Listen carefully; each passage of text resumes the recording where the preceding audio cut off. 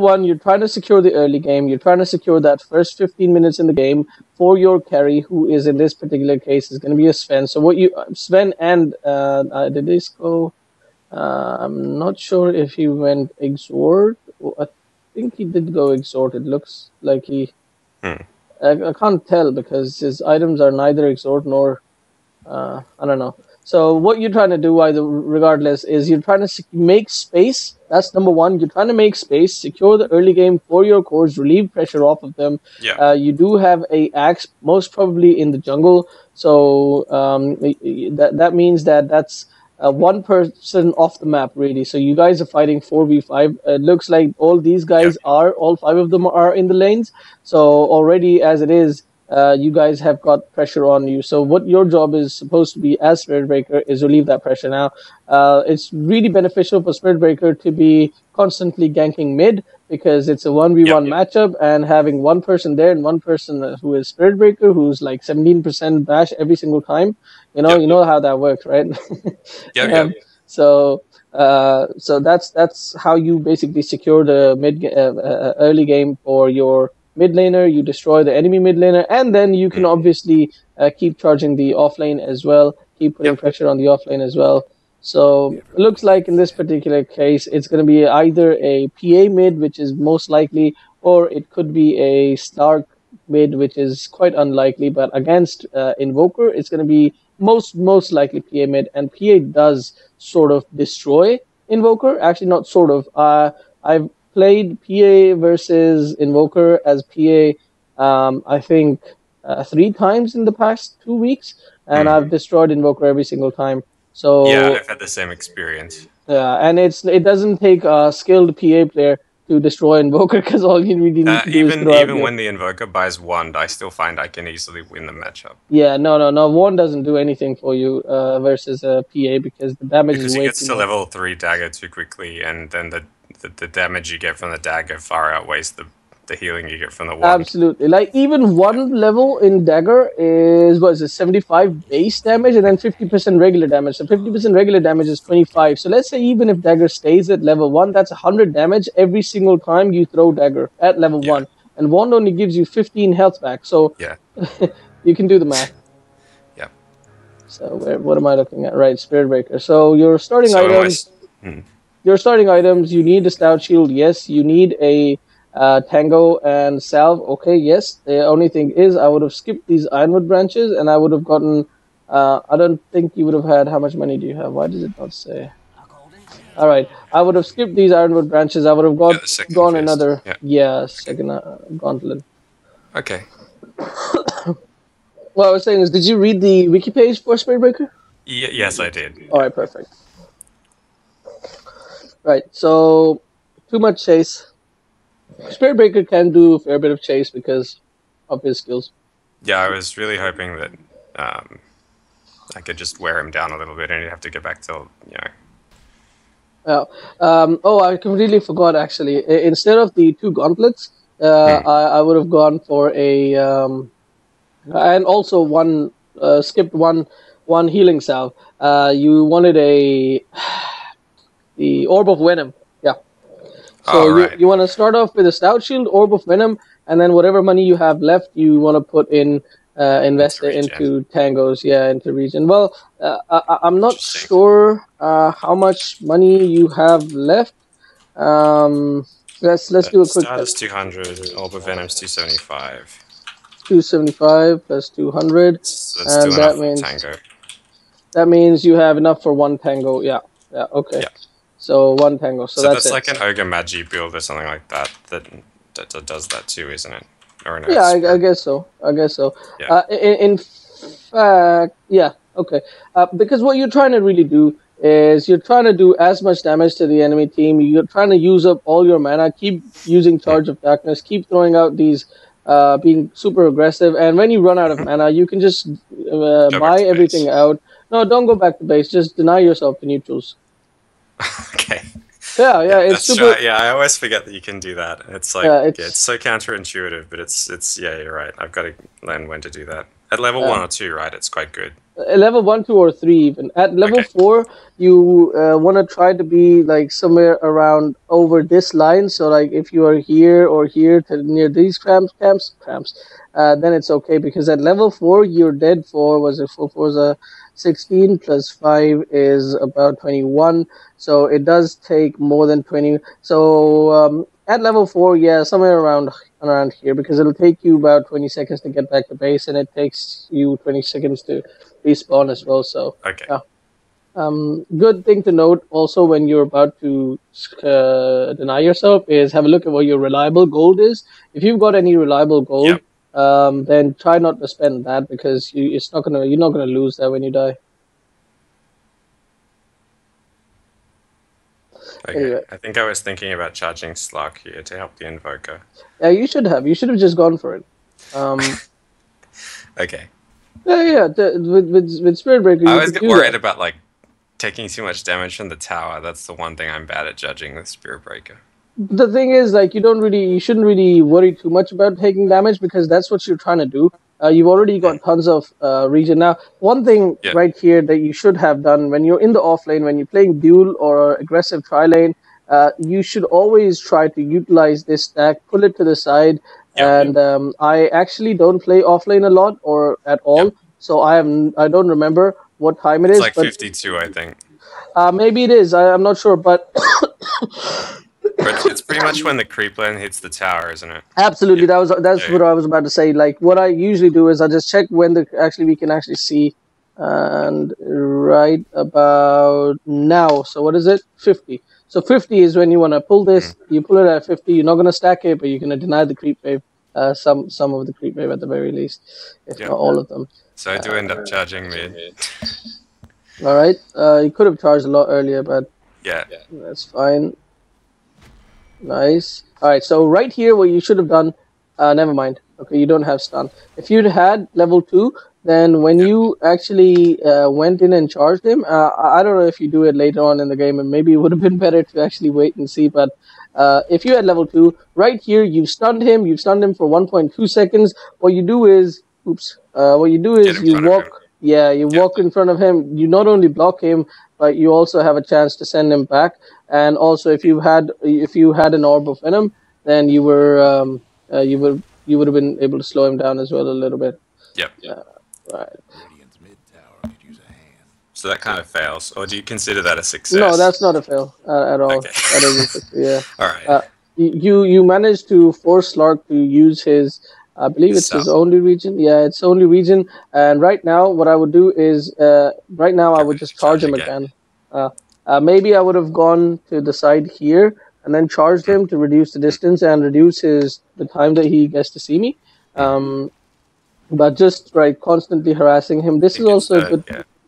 Yeah, this is also a good move. Like anytime you're charging, whoever you're charging, it's a good move. And you just come here. Oh, just a little bit sooner. Oh wow, seventeen percent. Oh, damn it. See, if I had the Uh, uh, he probably would have died. Hey. Oh well. Maybe, maybe not, but So I'm like feeling sad is- here and running away. that's still fine. Uh, it's it's fine. It's fine. Now this is instead. All right. So this was a bad move. Using up your hundred gold. I was about to say hundred pound. Hundred gold salve when you have Hmm. no mana at all. And you're just level two. Yep. What you should have done is you should have just gone over here, bought your yeah, bought your boots or whatever, uh, and gone over over here and denied yourself. So right now you will find that for the next I don't know what a whole lot, a whole lot of time you are gonna be pretty much useless. You can't charge anyone. You can't do anything. You don't have an orb of venom. You can't really chase people down. There is a tri lane here, and for some reason your Sven. Eh, your carry is in the off lane, and your off laner is in the carry lane all by himself solo. Yep. Uh, doesn't make much sense to me, to be honest. I don't know why this is happening. I think I, I don't know. Don't, don't look for logic. The, Yeah. This guy, this this guy, eh, can literally. I have seen this guy go one v three and get triple kills. Yeah. Right, and this is like five k bracket that I'm talking about. Hmm. And this is 3k bracket. This guy, and you know how he gets the kills? Just by standing there and doing nothing. so, so, so I'm really surprised that he chose to go against a solo Weaver. Uh, when he could have just gone here and I don't know, man. Okay. It's So right now I'm thinking uh, it's time to charge now because I've got mana again, and I'm gonna kill the PA. I think.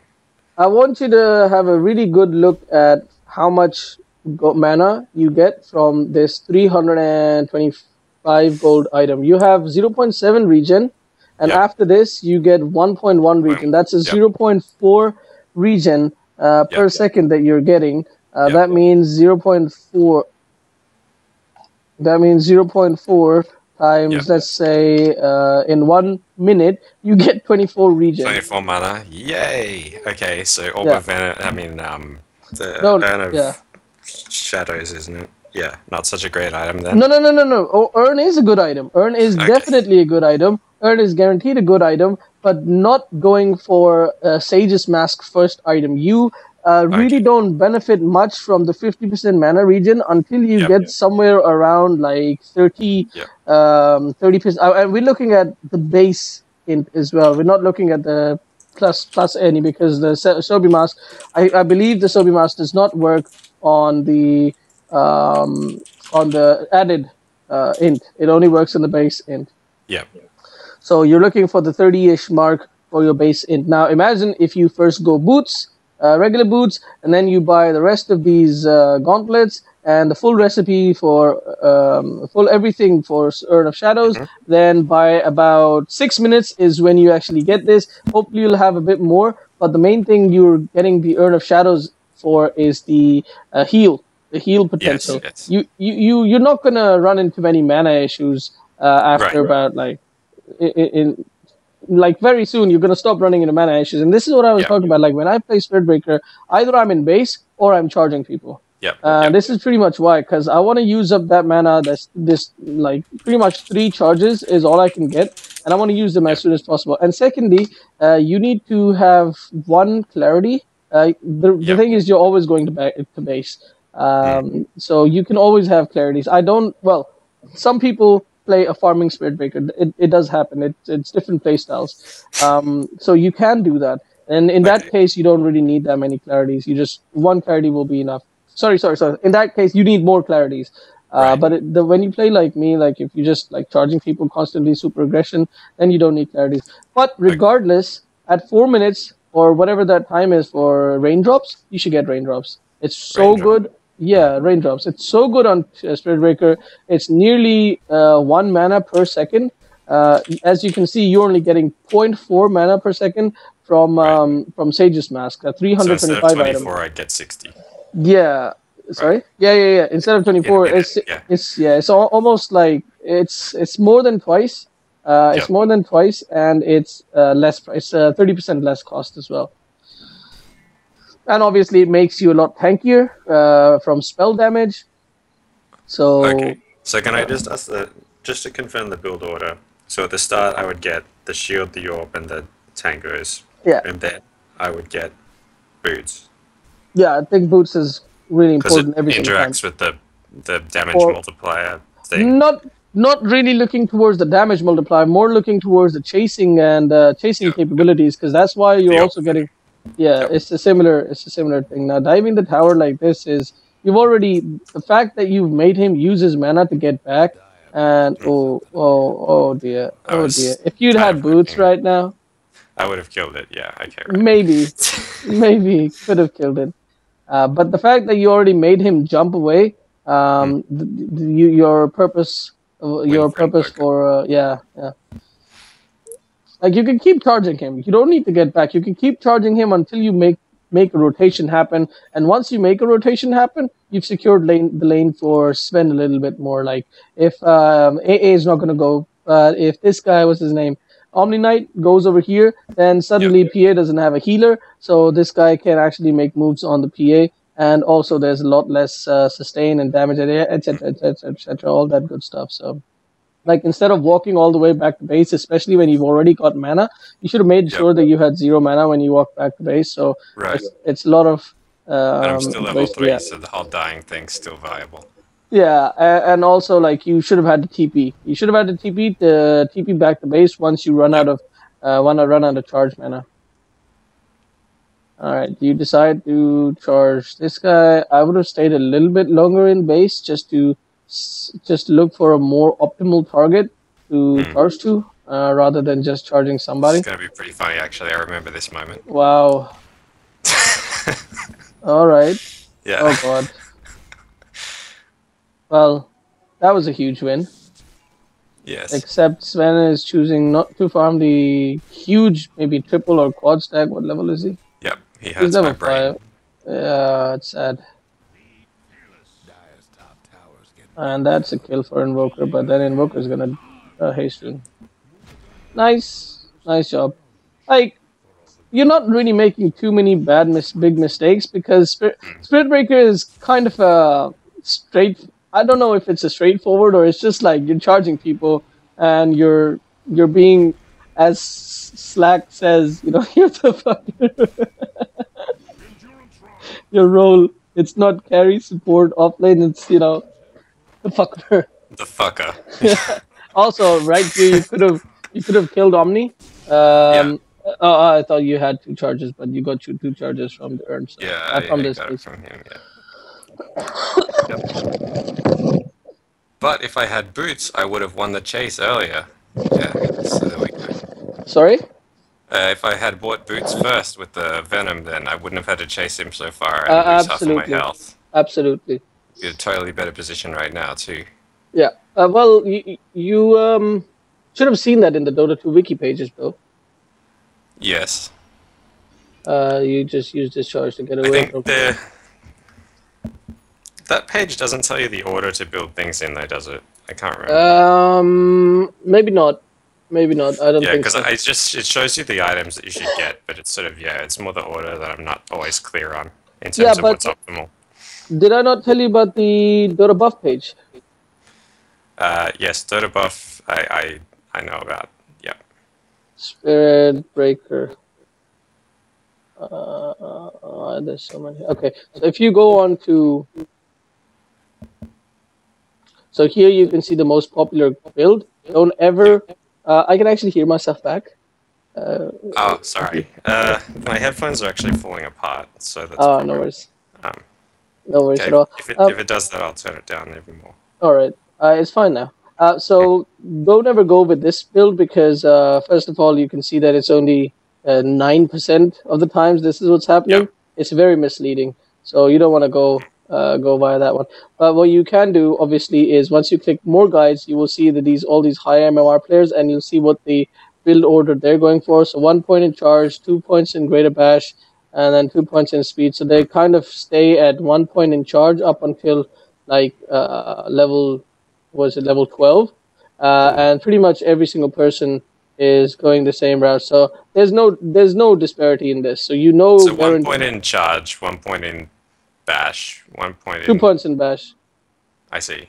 and then two points in speed charge of darkness and then ulti and then maxing out they're sort of putting two points in bash and then maxing out speed I see. So they don't Wait. bother with the second skill until later. Actually, it's pretty much same for all of them. So this is, unless except this guy actually did go for max charge of darkness level one. Huh. I am sorry. I miss. I didn't see the spell properly. This is Oh not yeah, charge. that's why I was really a- confused then. but in my defense, look, these both look exact, almost the same. I was about to be like, I was about to say to you, uh, this is not the way I build, but I guess this is a high level play. So you obviously are maxing out Charge of Darkness first, because you would be stupid not to. right. So one only you're keeping one point in. Um, some people do point put one point in em- empowering haste. Yeah, level five, one point in empowering haste. Yeah, that's how I build it as well. I, I put one point at level four. Really. That's what that's Um, what I've been doing is like one one one. Well, sorry, one Uh, three two, and then maxing charge, and then maxing bash. Yeah, yeah, yeah. That's that's what you want to do as well. Uh, but this this right here, this page is misleading because it actually tells you I don't see. need to put any points in empowering haste, but you do want to put one point at let's say level four ish. Anyway, uh, so right here, let's see. This guy went off lane. Uh, because he went off lane, he did not get a orb of venom. Um, because it's off lane. But this guy, wait, did he go middle? I I think this guy, this Dotabuff is confused because this guy, um, Probably mid a lot. yeah, yeah, because you can see there's an invoker, so he was probably in mid a lot because of charging, and that's why he's got an orb of venom. And uh, you can see that he immediately at 30 seconds he buys boots, so that's really important to get that movement speed. Wow, 30 Um, seconds. Well, he he's got Must some like- gold left. Uh, no, he doesn't. Oh, he has no shield, that's why. He doesn't have a shield. Well, you, when you're playing that kind of like a ganker build, you don't need a shield. Um, you don't need a shield. I always build it for some reason, but I guess Yeah, you so don't do need I, it. because I got drummed into me by like multiple people that as a melee carry or whatever should never leave Yeah. base without a shield.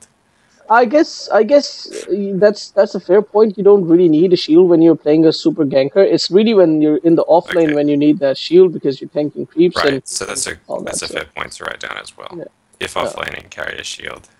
Yeah. If if- uh, if not, then just just go for this uh, orb of venom. And obviously, you're not going to go for a sentry ward, so um, you can actually just start off with gauntlets. Actually, I want to see what I built in my previous games because Sure. Um, just a quick one. Uh, what's it called? Sprite. uh, Spirit. That's Storm Spirit, that's Ember Spirit, that's Spirit Breaker. So, uh, it doesn't really tell me. Uh, right, so I've been, ever since the Iron Talon, I've been going Iron Talon. because, because you can actually jungle really Iron efficiently. and everything. Yeah, yeah, you can jungle so efficiently. Uh, yeah, level 1 Iron Talon, so I probably Level went in the offlane. Talon. Uh, I went in the off lane with the Iron Talon and uh, yeah, so never mind. Let's not look at that too much. Uh, so when you go off lane, it's just, it's quite quite a different build. You can go Iron Talon plus um, uh, plus um, what do you call it? Tangos, not Iron Talon level one, uh, but like preparing for Iron Talon. You should be able to get the Yeah. full Iron Talon by like half a minute, one minute, Yeah. because you do want to start off with a Stout Shield as well. So Access middle is missing. Okay. All right. I think I might not do that build. Maybe. it's, it's No, really no, no, messing don't- don't don't worry about that, Bill. Don't worry about. It. Just start off. Just start off with. Uh, try not to go solo offlane in, as Spirit Breaker. Uh, just Yeah. start off with So a or support ganking thing. yeah support ganking one. Um, because you're probably gonna have some some core in the offlane anyway in your bracket Yep. anyway. So you want to start off with an orb of venom. Uh, if if nobody's bought a courier, then probably you're gonna have to buy a courier uh, or uh, what do you call it, wards, and then whatever gold you have left over, you want to buy some some um, tangos, some regen. All right, so very nice rotation once again. Um, yeah, so you've already started to help your team snowball. Uh, if you notice that you've been involved in, it says two out of the three, but I think you were involved in the third one as well, in that you actually did charge them uh, earlier on and uh, uh, contributed to the kill, but it didn't actually say. Yeah, the oh, okay. So the it was the kill that Invoker got on the. Um, ah, that's right. Yeah. Yeah, but if you remember, you'd already engaged their people here, Right. which is It's just why. we killed them 30 seconds later.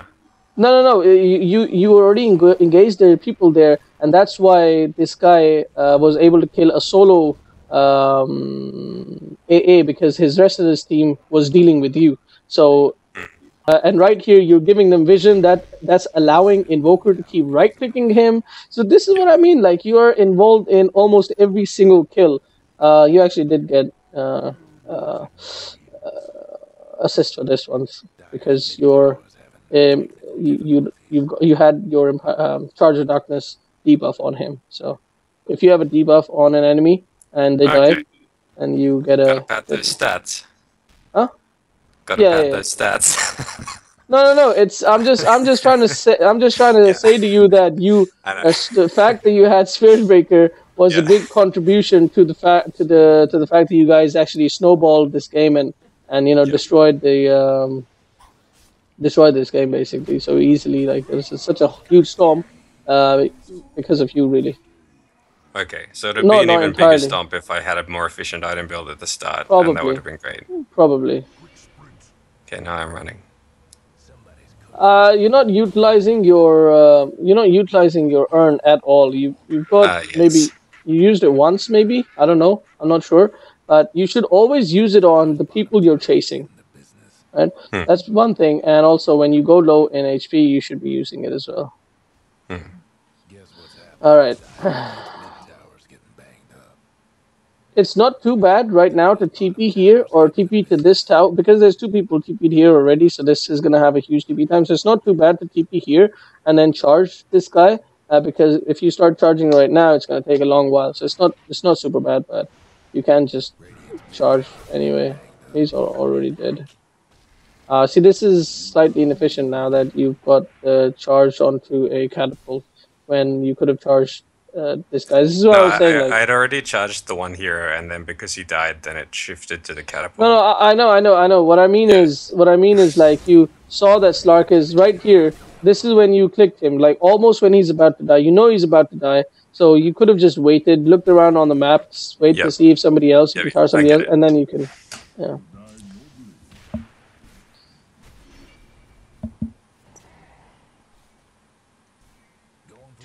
All right, nice, nice.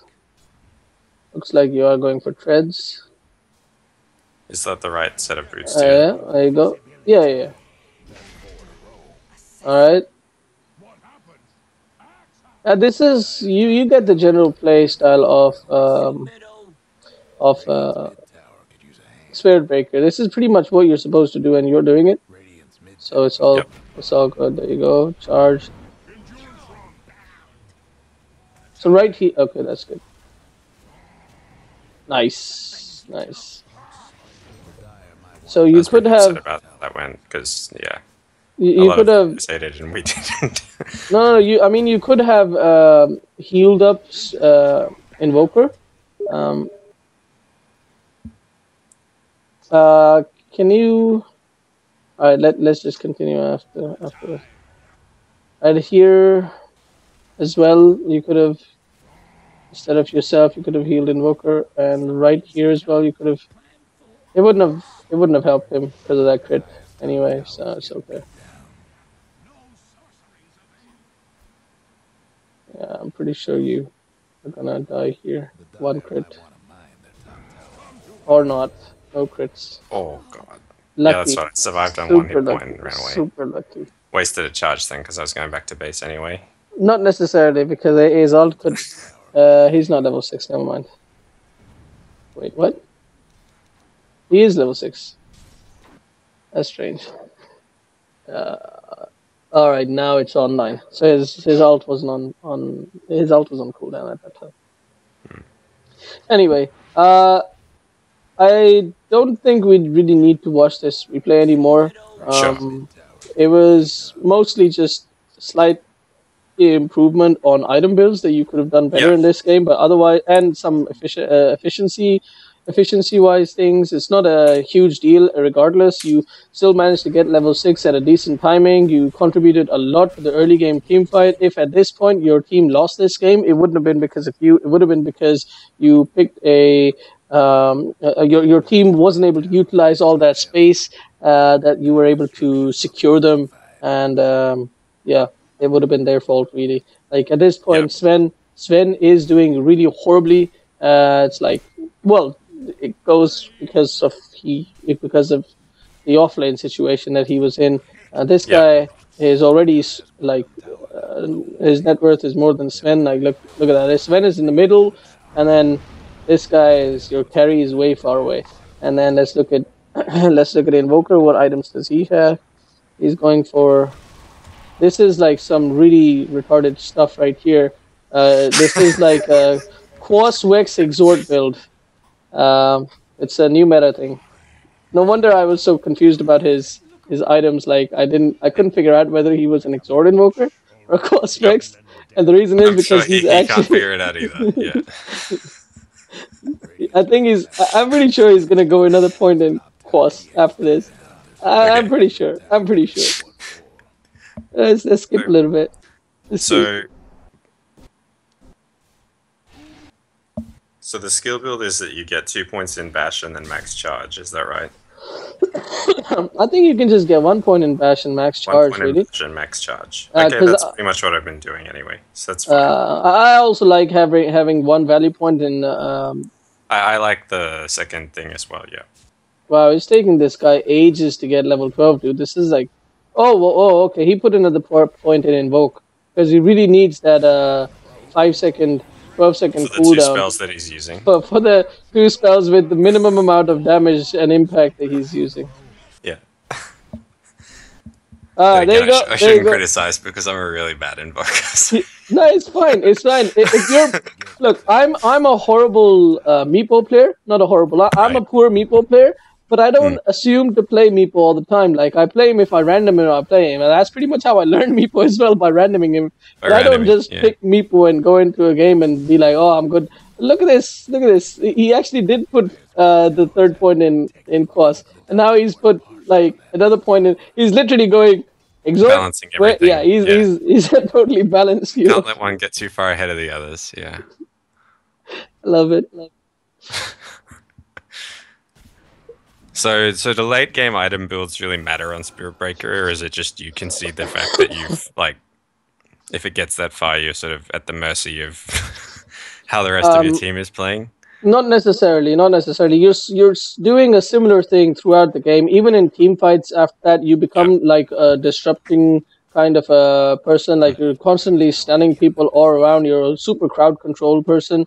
Um, now, drums is okay, is is good on Spirit Breaker, but I don't like the idea of SNY. You're not that right clicking core. It would have been a lot better if you'd gone for even if you'd skipped drums and you'd have gone for a silver edge because the silver edge is so simply so good against PA. Like I play a lot of PA. Uh, PA is Oh, my favorite disables hero. passive. Yeah. Yeah, yeah, i- if Okay. if somebody puts no no no, it not only disables her passive, right? First of all, it obviously disables the crit, right? You're not critting, and if PA is not critting, she's not doing Hmm. much damage, right?